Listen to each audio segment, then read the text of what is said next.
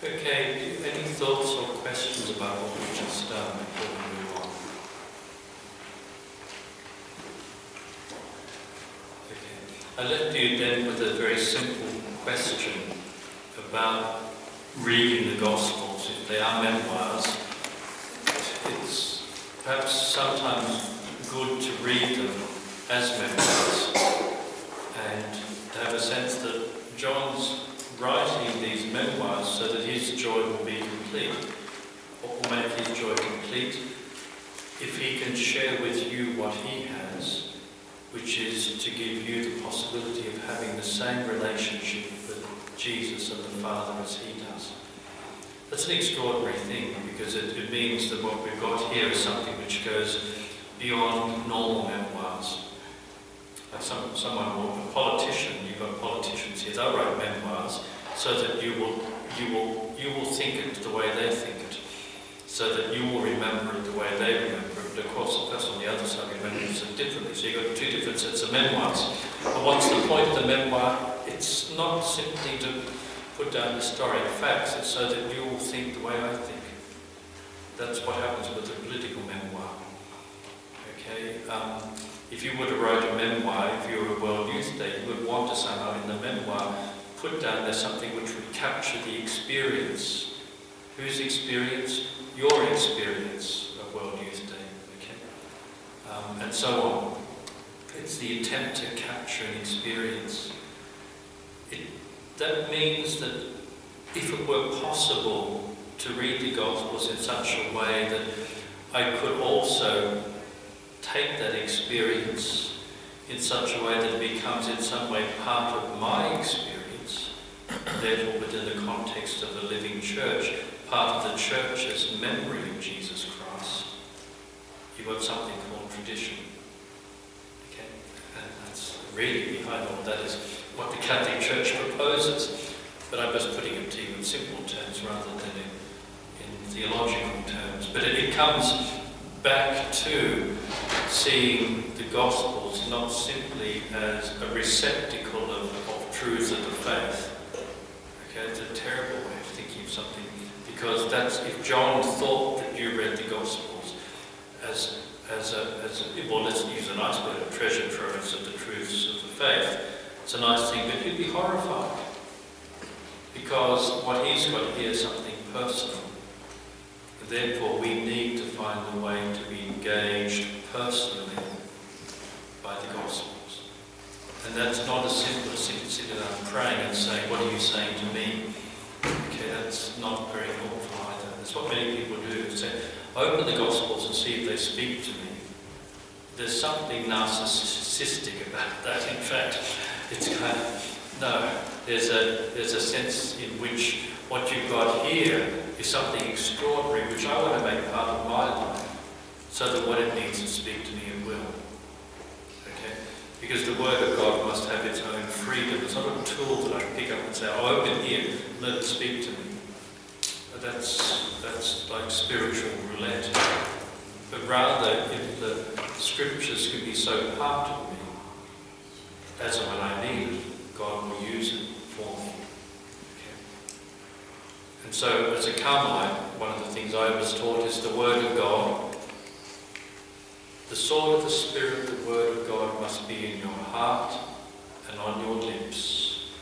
Let nothing be done without the accompaniment of the Word of God.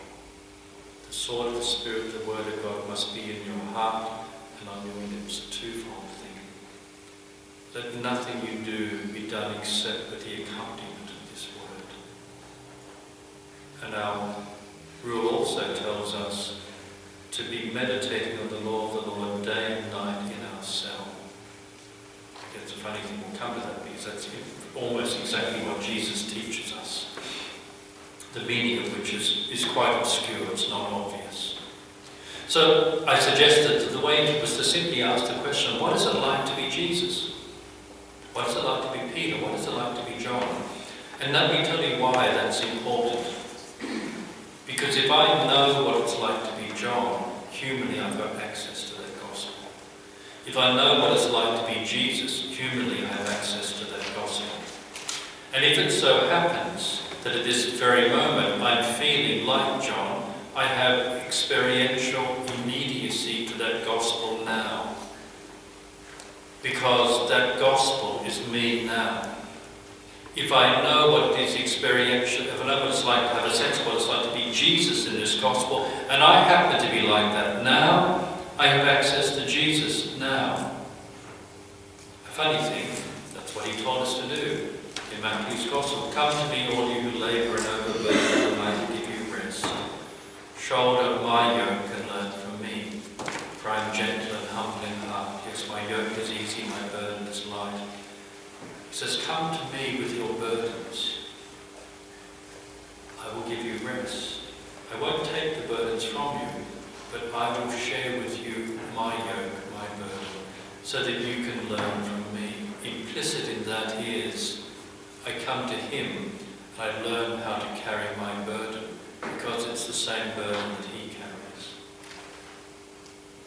Implicit in that is, I learn about Jesus by learning about myself in all authenticity.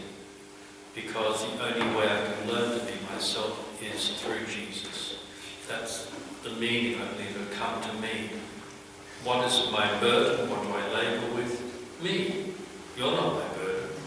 My burden, as I proposed to you when I try to love my neighbour and then to go to prayer, is me. And when I go to prayer, I bring myself to. Everything. Good and bad. Horrible and joyful. And I don't know how to be me. And the only way I can learn to be me is by learning from Jesus. You must love one another as I have loved you. How has Jesus loved me? I must, I must go there and be there. So that somehow has to be what we're going to for. And therefore it requires a certain kind of reading and a certain kind of purposeness. You have to be purposeful for when you read them. You're not reading them uh, to find out the story, you're not reading them for theology. But I'm reading it for salvation. I'm reading it for relationship with God.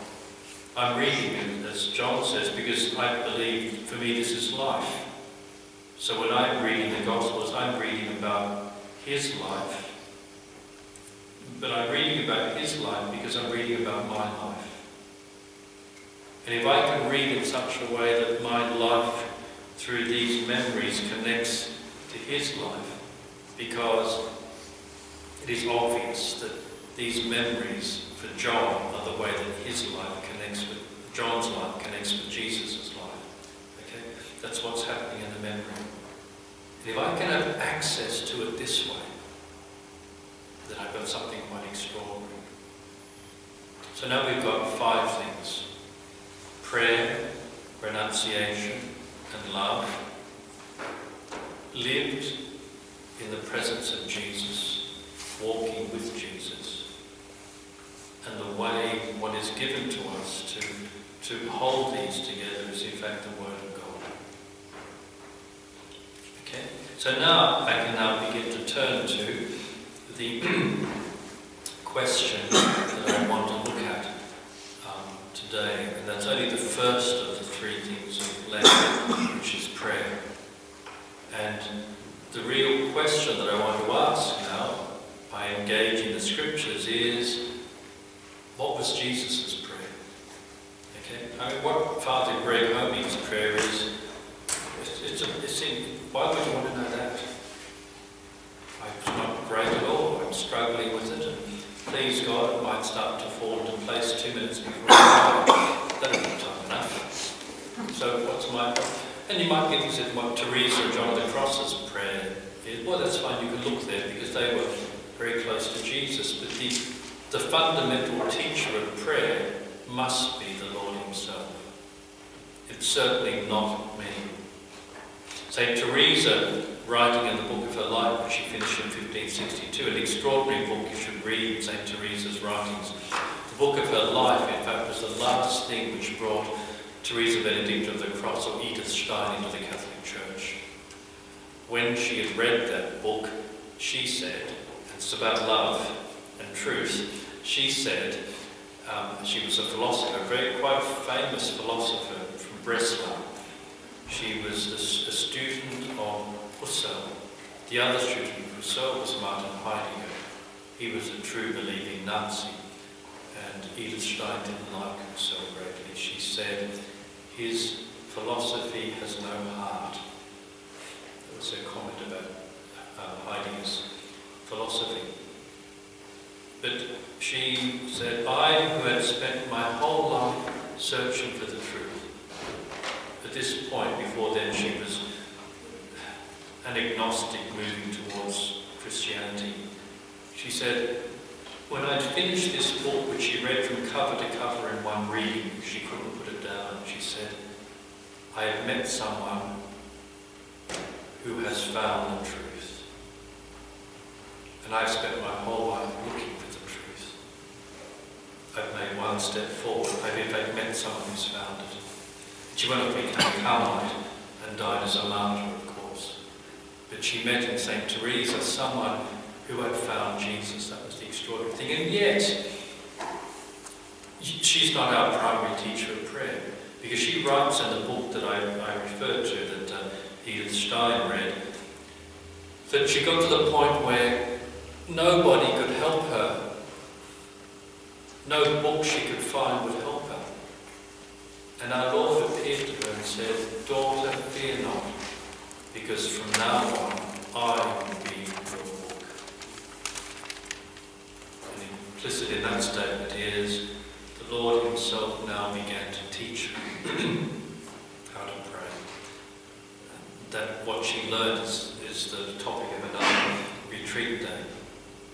But if I want to know what prayer is, I have to go to Jesus.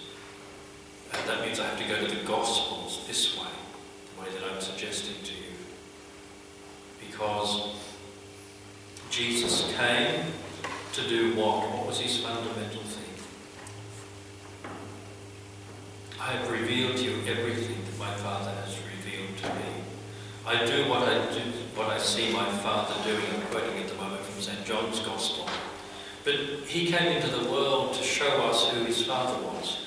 He came into the world to lead us into relationship with his Father. Incidentally, anything which is authentically Marian is Mary wanting to lead us into relationship with her Son, just as he came to lead us into relationship with his Father. Okay? Never get those things wrong. Okay? The focus in the end must be God. And it must be Jesus. Because Jesus is the only begotten of the Father, who is at one with the Father. And so Christian's life is always towards the Father through Jesus. That is so important in our prayer because it's, it's this relationship. Okay, so before we move on now, looking at the Gospels, I want to ask you a question. It's a question that I ask many people. If you could pick two scenes from the Gospel that you could, the angel Gabriel appears and says, I've been given the power to send you back into two scenes in the Gospel. Which would you go back to? To tantalize you. Because now I know which two, but before I worked out the two, I could spend the whole day pondering that. I'd have a great time. Can't imagine anything much more enjoyable. But the two that I would pick are these. Chapter 21 of St. John's Gospel, which is where Jesus is by the shore of the lake and he's cooked breakfast on a cold morning. And they come to him and they sit down and they eat with him. And no one is saying a word. I, I can't imagine a nicer way to be with our Lord. I wouldn't have wanted to be in a miracle. I'm not interested in miracles. I don't think I wanted to be there for his teaching largely either.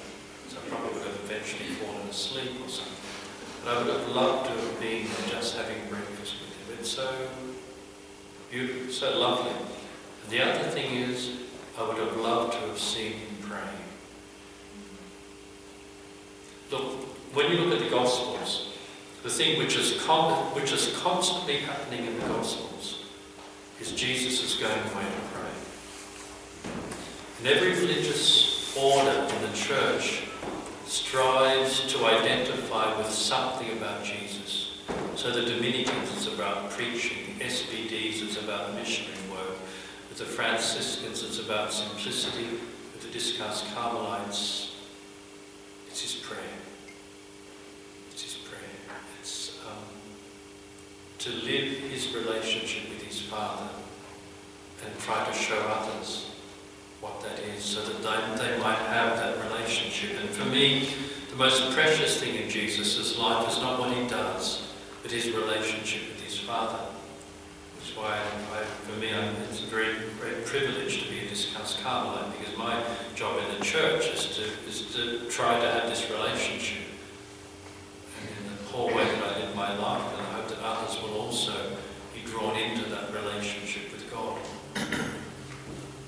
That's the common thing in Jesus' life. And let's, before we start to work out what it is, see how it's specified, how it's present in the Gospels.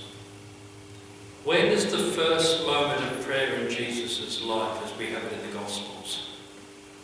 It's there in the three synoptic Gospels, the 40 days in the desert. We'll come back to that. Then we find that in, in the next, there are three climactic moments in his life. The baptism, the desert, and the temptation, they are one unit. The next unit is the confession of Peter, leading to what happens six or eight days later, depending upon which gospel you read, when they go to the mountain to pray, and there he's transfigured. The third significant moment, of course, is his death and resurrection. There, The, that's, that's the that's the kernel of the gospel. And what happens there in Matthew's gospel? He goes away. In all the synoptics, they, they go to the garden. What do they go there for? To pray. So we look at Jesus' life. It begins with prayer. It ends with prayer. In the middle there is prayer. And in between that we're told he would get up early in the morning before the sun came to go away to be alone with his Father. And that wonderful passage when all the disciples have come back, this is in Mark's Gospel, all the disciples come back from doing all this ministry. And he says, You are tired, you haven't even had enough time to eat. Let us go away to a lonely place. And he said, they, They're about to go, but the crowds come. Wonderful thing, the, the lovely compassion of Jesus.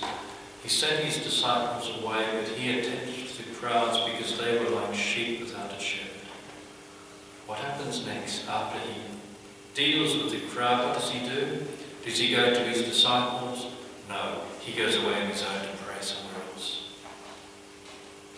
And every time he walks across the water when they're in the boat, he's coming from a place of prayer. Okay, so this forms, in terms of Jesus' private life, it's the common thing we see. The rest is ministry. The rest is for others. When we look at Jesus' life in terms of for himself, he's always going away to pray. Okay? Now, let's ask ourselves another question. Because we've got the example of his prayer as given to us in the Gospels. But we're also given two very precious because at one point in Luke and Matthew's Gospel, effectively the disciples come and say, teach us to pray. And he gives them the Our Father. We need to look at that because that's very important. But we have to understand what he's really saying and where it's coming from. And the other very precious, precious moment is in the Garden of Gethsemane. When Jesus, overcome with fear, falls to the ground and prays. And he actually, we, we get his words. We hear the words that Jesus prays to his Father. They're, they're precious. Do you know what they are? Have you thought about them? You know what they are. My Father, if it is possible, take this cup from me, but nevertheless your will be done. You need to look at those words very carefully, because that's Jesus at prayer. Have you thought about the words he said? Now, let's also notice a number of other things Another peculiar thing about Jesus' prayer, and it's there in the Garden of Gethsemane. They went to the garden, and he went away with Peter, James, and John to another place. so they could see what was happening. And then he went further away again and said, You wait here and don't sleep. When he went to the mountain to pray, he took with him Peter, James, and John, the same people as in the Garden of Gethsemane, who went to a private place. But we're told this when they asked him about prayer, when he was alone praying in their presence. It's a funny, funny statement, isn't it? How can I be alone praying? If I sat here praying, I wouldn't, I wouldn't feel that I was alone. But they thought he was alone. To pray in the presence of someone is the last way you would think of praying alone. If you're praying alone, you'd go away so that there's nobody there. But for them, he was praying alone in, in their presence. So they saw him praying. Number one. Number two, I think this intrigued them greatly. Simply by the way that they said, he prayed alone in their presence, because that's not what we would say. What are they saying? He was praying, but he wasn't. He was praying in our presence, but he wasn't praying with us. It's obviously what it means when he says he was praying alone. Because the word alone here, when you're in the midst of people, to pray, if we sit here and we all pray alone, it means we're all praying privately. The alone doesn't mean necessarily absolute physical alone, because that's not what was happening. So if I was to say, let's spend some time alone in prayer, does that mean you all have to race outside and find a place where you can't be seen? Or do I mean to say, just pause a moment and pray privately? The alone here, I believe, means praying privately. And this is what intrigued them. The first thing we know about his prayer. He prayed alone, and I don't believe they were used to praying because what was the fundamental Jewish prayer? As we know it, it was the temple prayer, which was of the high feast days, that, that are given to us in, in John's Gospel. And remember in John's Gospel, towards the Passover there, I wonder whether he will come up to Jerusalem for the feast day. That means I wonder whether he will come to temple for the temple worship. That was one kind of Jewish prayer. What was the second kind? We're told that it was his custom to go to the synagogue on Saturdays. Okay, and notice about these things. These things are, we are praying. Okay? These are the community praying. And as you recognize this, you'll recognize his teaching on prayer more specifically. And the third thing is what's not given in the Gospels, but which we know as part of the Jewish tradition, and that is the family ritual on Shabbat. When the family gather the, after the first sighting of the evening star, the planet Venus, they gather together to celebrate as a family the Sabbath. Because the Sabbath is what defines them in many ways. It's a beautiful thing to reflect upon. You should reflect upon what the Sabbath is rather than waste your time asking yourself what to do on the Sabbath, because until you recognize what it is, how will you ever know what to do on the Sabbath? But we don't have time to look at what it is today. So those three things. Once you see that, you can see he's doing something different. He would go away with them and alone in their presence pray. And they're all looking at him. And obviously they're wondering, what on earth is he doing? Have you ever seen a holy person praying?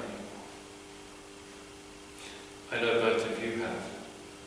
Our Father Hilary, was 75 years a Carmelite, I know he was a holy man.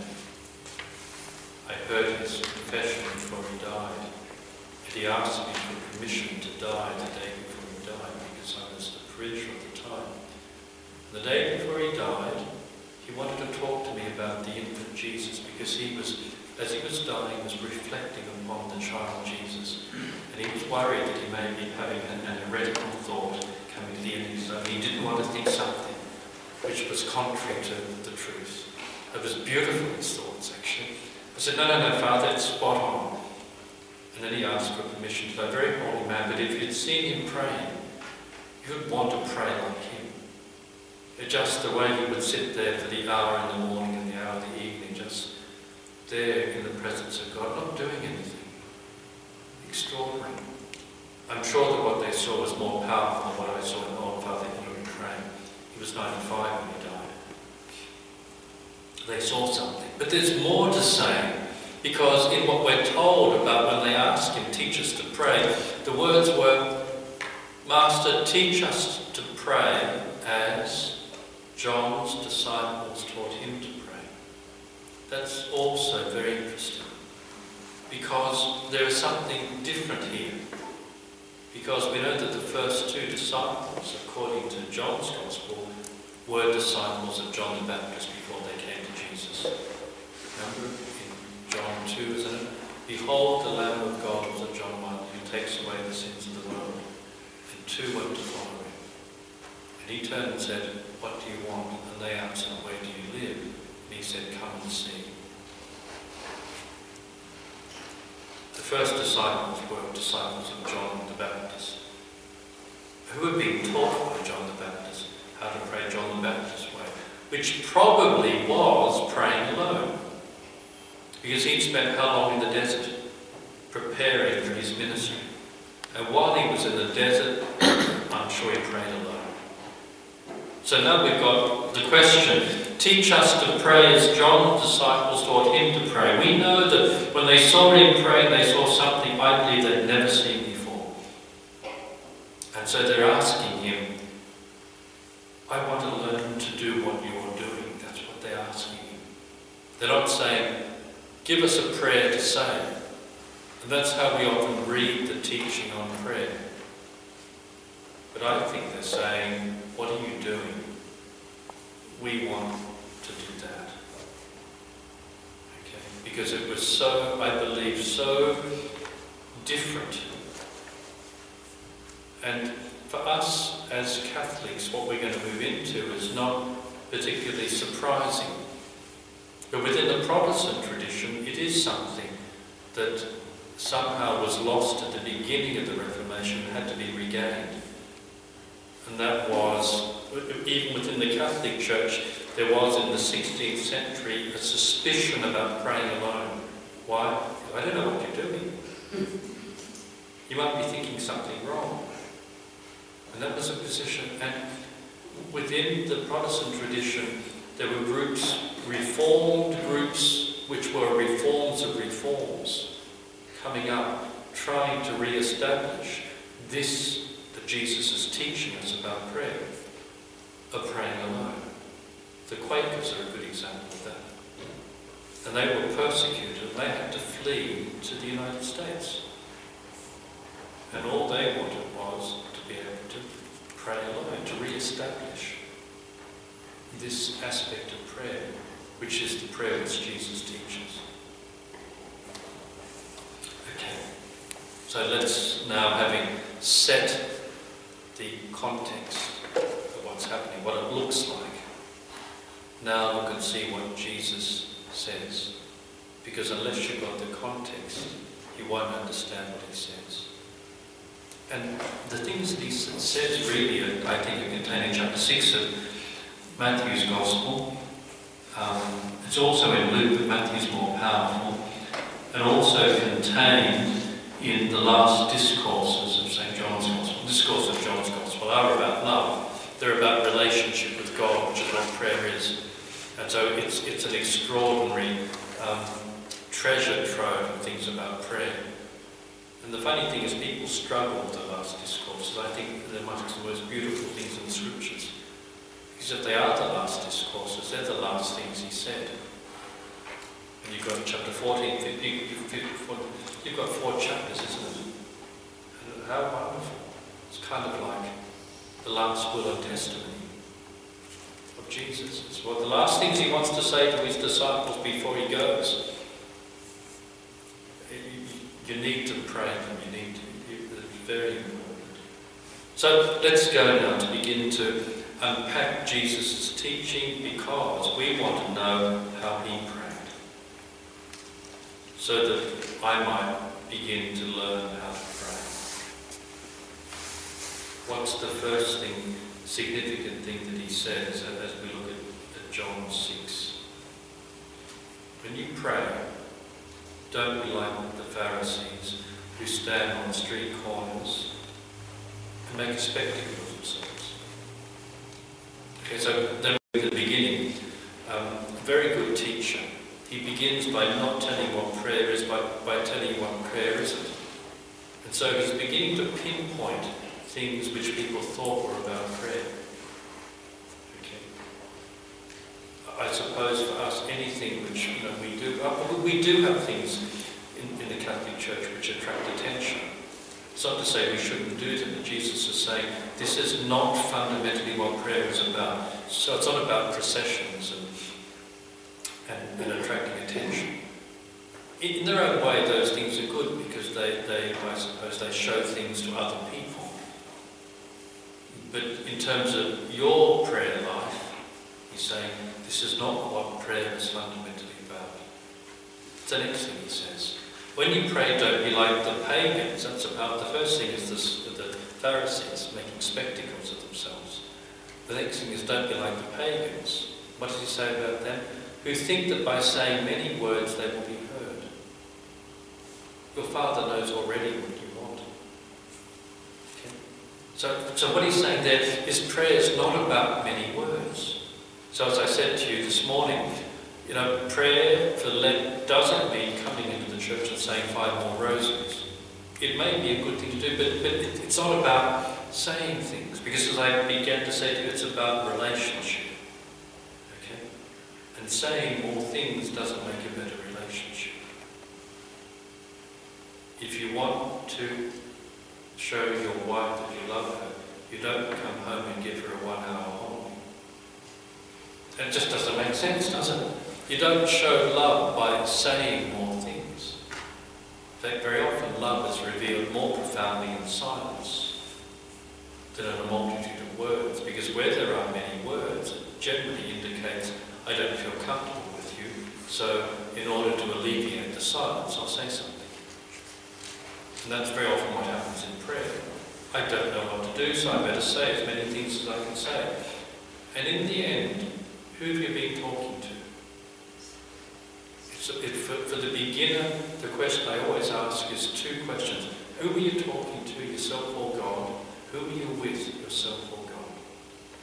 Powerful questions for the beginner. Later on in prayer, it's, it's a different kind of question. But at the beginning of prayer, the, the, the aim is to get the soul focused on God, to begin to develop within the soul the ability to be alone so as to be alone with God. And it's not easy. Not easy, which is why as we begin we try to sing and do things to fill it in. But if you're growing in prayer at a certain point, the last thing you want is noise and prayers and things said. You simply want to be go away and be alone that, for Discalced Carmelite, is the first indication of a call to a more mature prayer.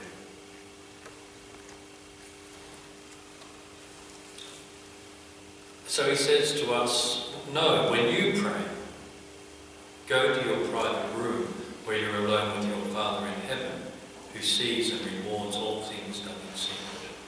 No, when you pray, go to your private room where you're alone with your Father in heaven. Now, now we're getting to something, something real, because now he's telling me something rather than what not to do. So we can only understand that if we understand what Jesus means by go to your private room. Because he's now beginning to speak about his experience.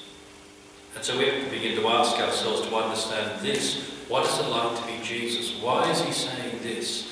What's the meaning of this for Jesus in his prayer? Otherwise, you don't know what he's saying. Let's begin by saying what it's not. It doesn't mean go to a private room and close your door. It can't possibly mean that. Because they didn't have private rooms. An average family probably would have had five, six, seven, eight, nine children. Did every child have a bedroom? No because it still remains a case so that you don't. What does a private room mean? And more to the point, when Jesus is preaching this, saying, no, this is what we're going to do, go and pray, and obviously now go off and pray. They, had, they didn't have anywhere to live. They were itinerants, walking around Israel, and he remains an itinerant until he dies, unless he's visiting the house in Bethany or visiting someone's house, they put him up. They didn't have their rooms, and we know that. Listen to the sadness in our Lord's voice. Come follow me, he says to someone. And he says, no, no, no, no can, I, can I go home to my house first? And what does Jesus say? Listen, he says, foxes have holes and the birds of the air but the Son of Man has nowhere to lay his head. Change that into, into the way I believe it should be heard. Foxes have holes. I want you to follow me. No, no, I want to go home first. Foxes have holes and the birds of the air have nests, but I have nowhere to lay my head. It's very sad, it's very poignant. He's talking about himself. He's not giving an instruction fundamentally. You want to follow me, then come follow me. But I've got nowhere to put my head. I have nothing to call my own. That's a consequence of my following my Father, is that all the things which you treasure and which I treasure, I now no longer have. And even foxes have got something to call them, and even birds of the air have got their own nests. But I don't have it. There's a real, it's a very, it's so human. He's sharing with this young man this is what I, this is what I've had to do. And if you want to follow me, this is the way you have to go too. And he's not making it easy. He says everyone's, even a fox has got a place of their own, but I don't. So what does he mean when he says, when you pray, go to your private room?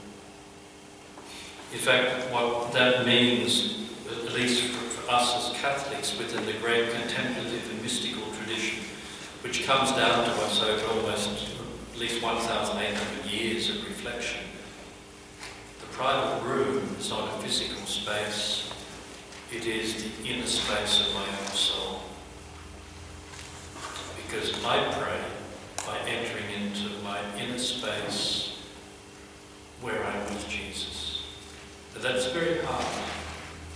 It took me about 20 years almost as a discalced Carmelite to suddenly begin to have a sense of what that meant. But if you want to follow Jesus, you have to be patient don't learn everything just like that. The private room, a physical space, is helpful if it helps you enter into your own soul. Because the great teaching of the Discalced Carmelites is, and this is from the last discourses of John's Gospel, the greatest existential doctrine of the church is this as much as Jesus being God and man and the Trinity and papal infallibility and all these things are lovely things, they don't really impact on you fundamentally. The greatest doctrine that we have for ourselves personally is the Father, Son and the Holy Spirit dwells in my soul. That is, tells me who I am, tells me what my life is about. And as I live this truth, my life changes. Because the God, God, God is within him. And more than any other thing that I know as a Catholic, that changes my life.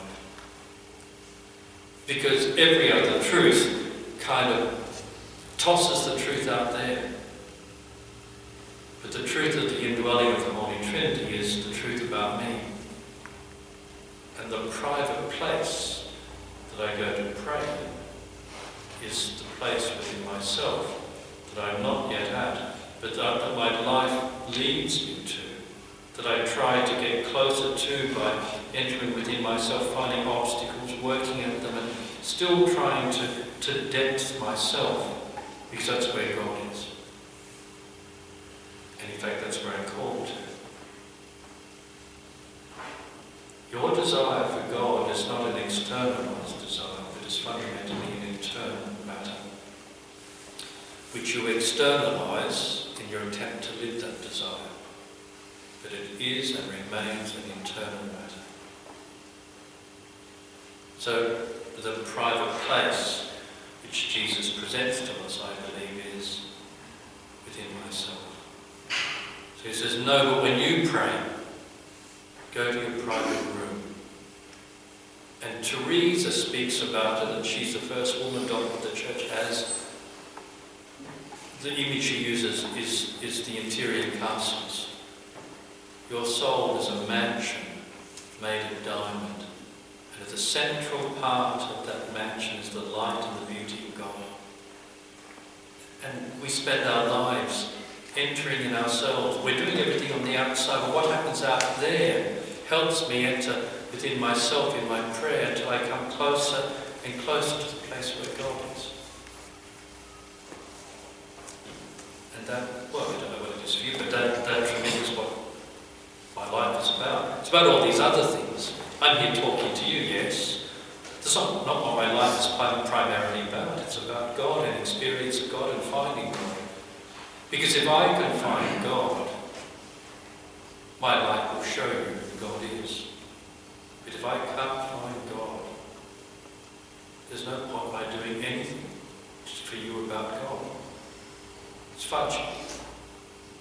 If I've got God, you'll see God. I can't teach you God. All we can do is show God to others. How? By being ourselves. Because if we're loved by God and we allow God to love us, we try to live as we should, our lives show others what God is.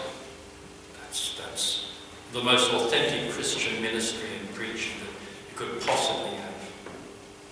This is not dependent upon silly words or things. So, enter within. That's where we're told to pray. That's where we're invited to. And if it's true, you will experience here and now joy in hearing these words. John the Cross says, truths are known even before they're heard. Because the truth of the gospel brings joy to the hearers. He says it brings joy to know that God dwells within to know that everything that you seek is so close to you as to be in fact within you. And therefore you must search for him within yourself, crying out, Where have you given hidden beloved? That's I'm quoting from John the Cross in the first stanza of the spiritual canticle. So that's now now we're beginning to, to understand what Jesus is saying. When you pray, go to your private room. When you pray, enter within yourself because that's where God is. Okay, let's move on because I just want to do one more thing because we're coming, it's already lunchtime. I'm getting worse. So anyway, just want to give you one more thing before we take the next break. And it's, which will I give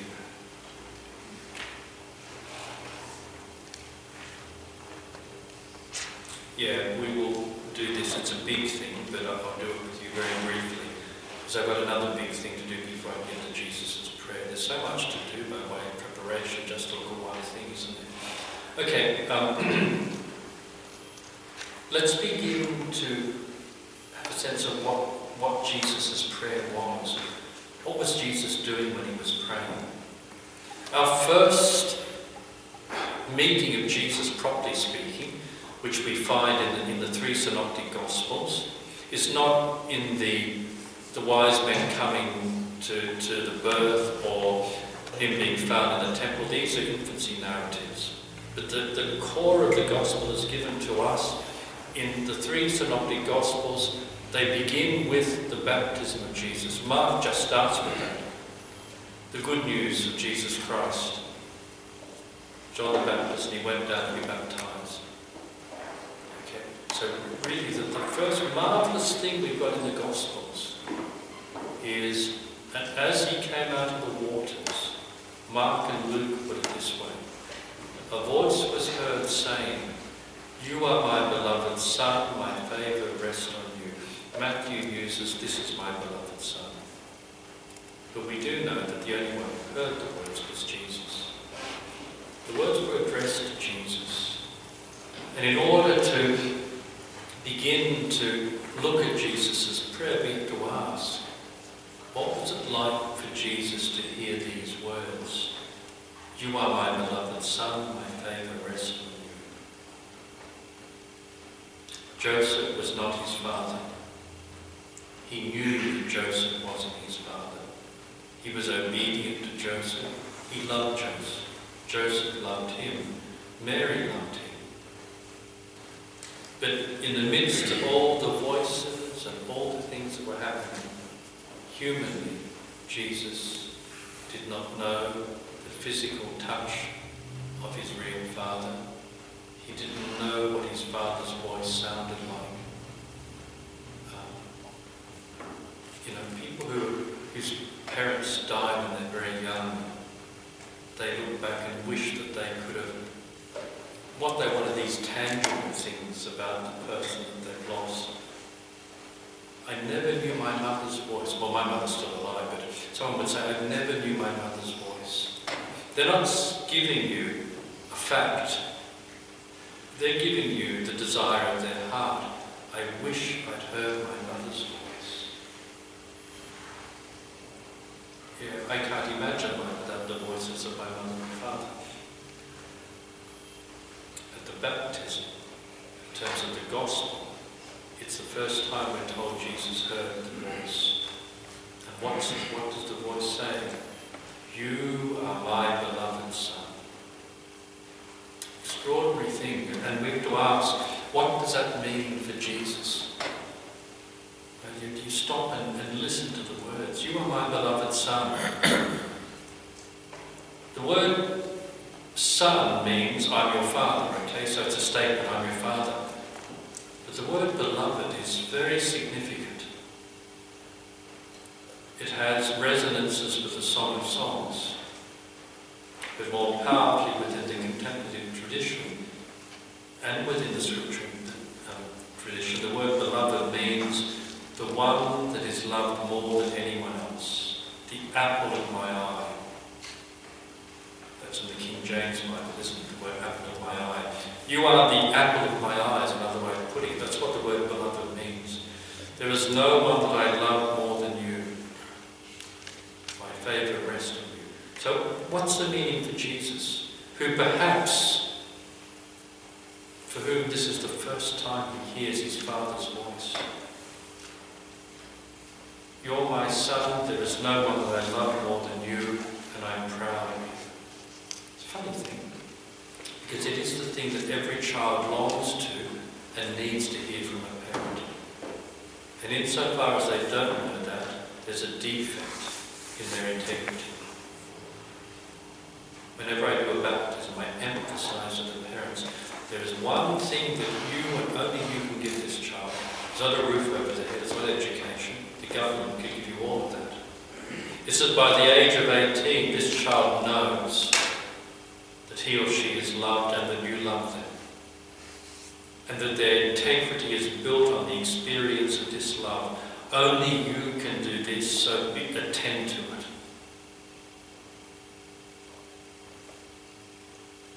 And if the child doesn't have it, it will be that your sonship or your daughtership is built on knowing is defective insofar as you think that you're not loved. It's built on knowing that your parent is proud of you, and it's defective insofar as you think that you haven't lived up to or haven't been the child that you should be. I deal with this all the time, yes. If we don't know what this love is, what is it supposed to be? Yeah, it's a wicked devoted prayer. That's why you can see the importance of prayer already, and we'll get to that after lunch. So let's see, what is it like to be Jesus? Suddenly, that's my Father who says to me that I'm the one he loves more than anyone else. That's who I am as Son. To be Son is to be loved by this Father more than anyone else. I'm the apple of his eye. And I give pleasure to him my favour rests on you. And what does he do? He doesn't go out to the desert to be tempted. Because we're told anyway that after 40 days and 40 nights of not eating, he's tempted because he's weak. He doesn't go out there to spend, I think I'm going to have 40 days without eating or drinking. I don't think Jesus was uh, so obese that he thought I need to lose weight before I go and start my ministry. He went out there because he wanted to be with his Father. Probably forgot the time. Now what happened with his Father is important, and that's what the temptations tell you. The temptations tell you what happened. But at this stage, we, we can say he went out there to be alone with his Father who he knew loved him. And I think that's what he did then for the rest of his life. As often as he could, he would go away to be alone with his Father who he knew loved him. And that's peculiar for me as a Carmelite, because in chapter 8 of the Book of the Life, of St. Teresa, one of her wonderful definitions of prayer says, For me, prayer is nothing more than an intimate sharing between friends. It means taking time to be alone frequently with the one who know loves. She's, in terms of the mystical life, the greatest mystical writer the Church has well. And powerful. What she says prayer is, I believe it's exactly what Jesus was doing. He'd go away to be alone with his Father because this was the person who loved him. He went there for love's sake, as often as he could. And what did he do while he was there? What two good friends do, because his father is his best friend. Shared everything with his father. And his father shared with him. How do I know that? Because he says to us, I call you friends because I have made known to you everything my father has revealed to me. Everything that my father has shared with me, I'm sharing with you. I call you friends. We'll come to this after lunch. Because my relationship with my Father is one of friendship. And I, you're my friend, you're my Father's friend. And I'm inviting, and that's what he did. When he went away, he would take his friends with him to be alone with him as he was alone with his Father. Very clever, though. So they wanted to know what he was doing. So that they wanted to be part of his prayer. That's what our Lord does. He goes away to be alone with his Father. And this is what's happening all the way through. He is going to be alone with the one who knows loves, loves him. And at the, the core of prayer is the love of God. And then therefore, what am I going to pray for? To be loved by God. That's the beginning of the answer to your question. To be loved by God. Because it doesn't matter how well you've been loved humanly, it is still defective.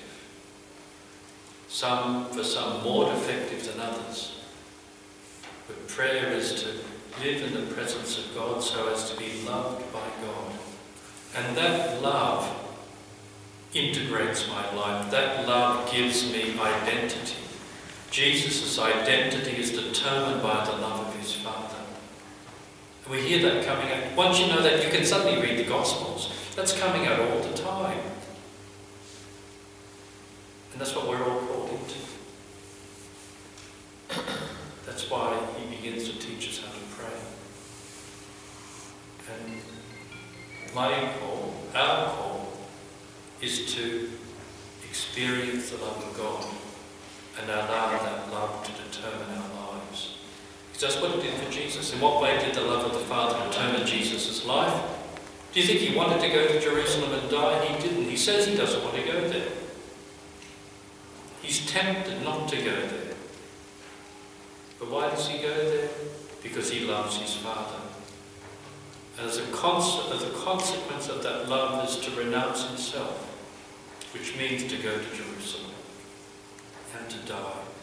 But if you think he wants to go there and be tortured, I'm not going to follow such a man, because he doesn't. He goes there for love, because he builds his life